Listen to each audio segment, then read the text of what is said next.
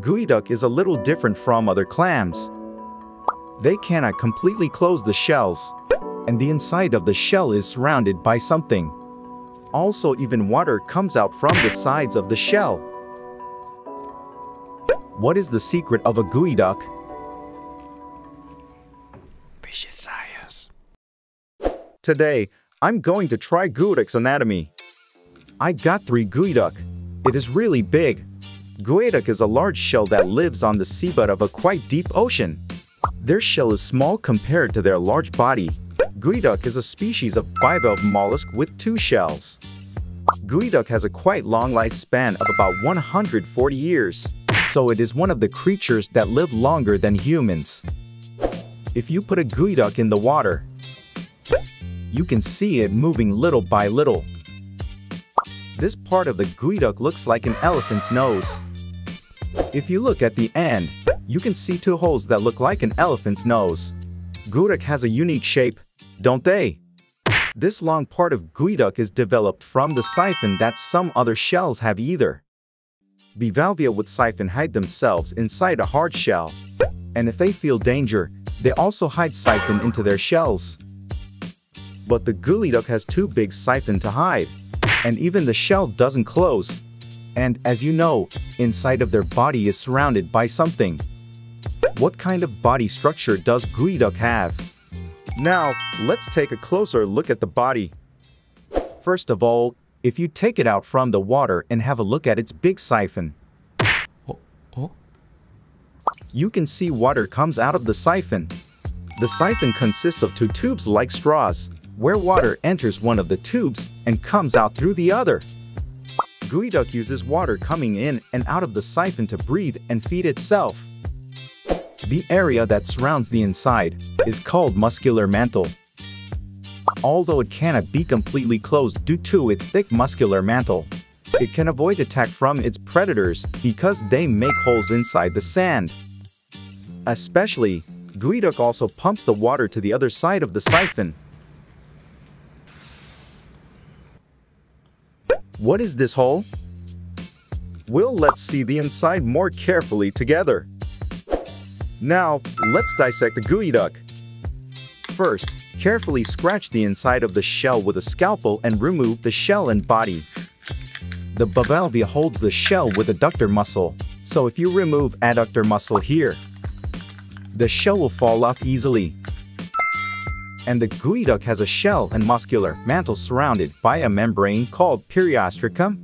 Periostracum is a leathery membrane that covers the shell, and geoduck has a form in which the periostracum expands and surrounds the body.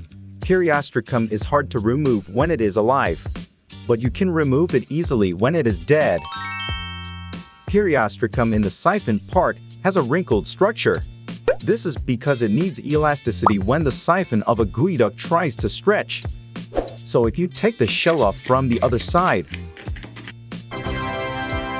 you can see the inside of geoduck.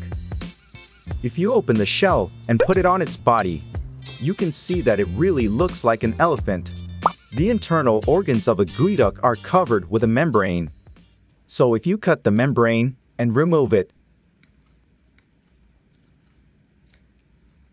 you can see the internal organs here. This one in front of the siphon is geoduck's gills.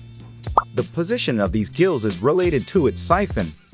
If you look at the cross section of the siphon, you can see that the inside of the siphon is made up of two tubes. The geoduck uses the water flow from the siphon to breathe, so that's why the gills are located in front of the siphon.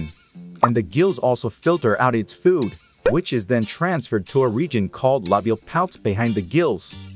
And then the food enters the mouth located under the labial palps.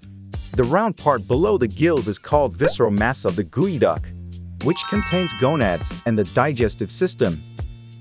By the way, Bivalvia have feet, but we cannot see that from geoduck. Why is that? In fact, geoduck has feet too. The hole where the is water pumped out is where the geoduck's feet come out.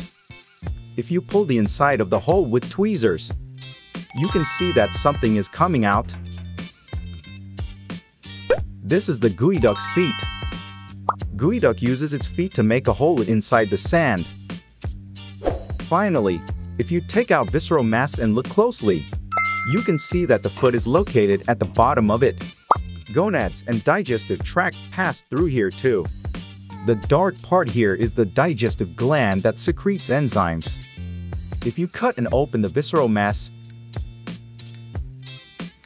you can see the area where the intestine passes and the brownish digestive glands in detail. People eat geoduck and raw mostly, but the inside of the visceral mass is a place where shellfish poison accumulates.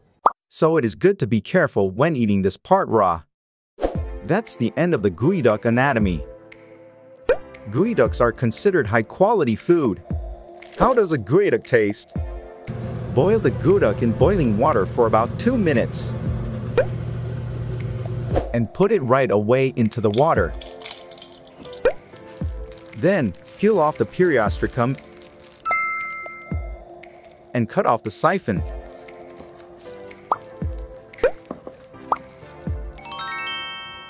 I'll try this.